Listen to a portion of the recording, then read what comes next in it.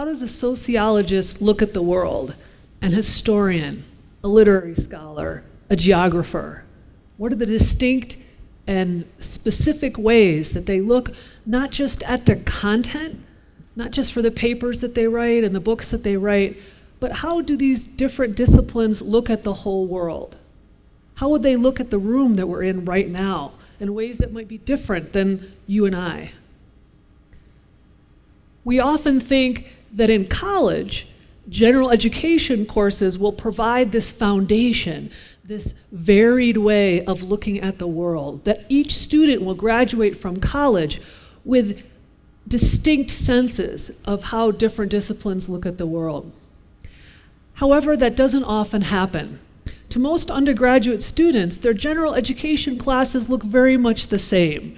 They are in a, a, room not unlike this, a large lecture room. The professor is talking, they're taking notes. Maybe if they're lucky, they're in a small group or two, they take tests.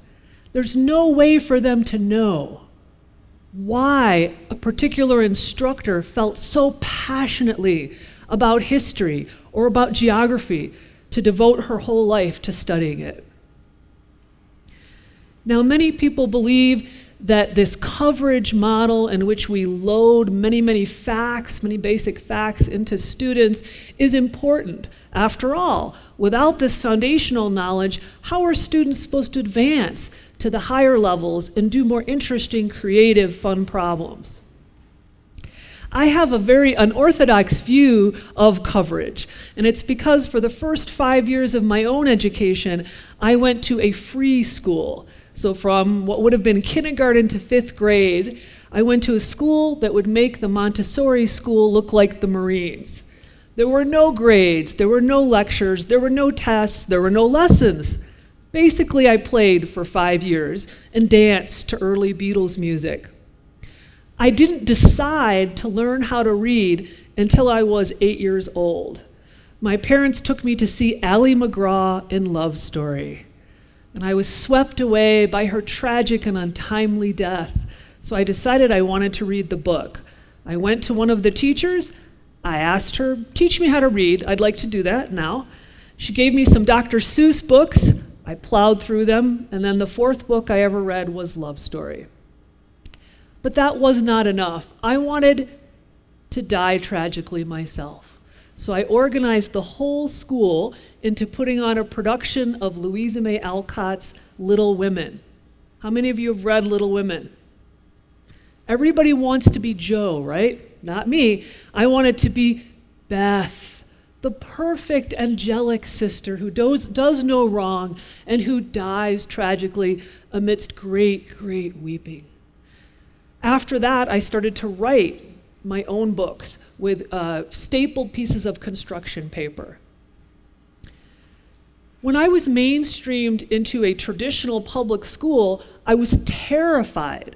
Imagine my horror when I realized that for five years, these other kids, instead of playing, had been sitting in desks, learning lessons, taking tests, uh, learning how to do multiplication tables, uh, learning mysterious things like bell work and how to head a paper.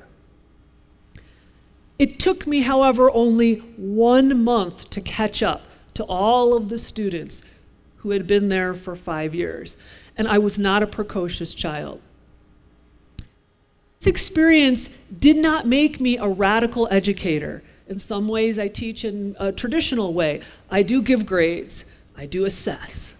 However, the experience that I had in the very beginning of my education radicalized my ideas about education. I don't believe that we have to do things a certain way because we've always done them that way. And I believe that nothing trumps a motivated and engaged student. Now that I teach literature in college, of course, I would love for every student to graduate college having read all of Shakespeare, all of the poetry of John Donne, all of the novels of Charles Dickens, and every word James Baldwin ever wrote. But that's not possible. And it's certainly not possible for the students who only take one general education intro to literature course. So instead of worrying about what to cover, I want to teach them the moves of the discipline, or at least one very important and key way of looking at the world and looking at a literary text, and that is to value and recognize complexity and ambiguity in literature. For example, I often teach Theodore Roethke's famous poem, My Papa's Waltz, which begins The whiskey on your breath could make a small boy dizzy, but I hung on like death. Such waltzing was not easy. When I teach that poem, I would say a good half of the class looks at the evidence in the poem, at the vocabulary and the tone, and they believe that it is a poem about a mean, abusive, drunken father who comes home and beats his child. And there's evidence to support that. There's another group of students who read the poem and they think it's a loving tribute to a hardworking, blue collar father who, although rough around the edges, was in fact very loving. My job is to lead them through exercises so that they can see that both of those interpretations coexist. So they understand that they don't have to ignore one set of evidence just to uphold their initial thought. So they realize that the poem can contain both. With that skill, they can go off and read other poems, other novels, other essays, and they have a better way of engaging in them. And I think perhaps a more sophisticated understanding of human relationships as well.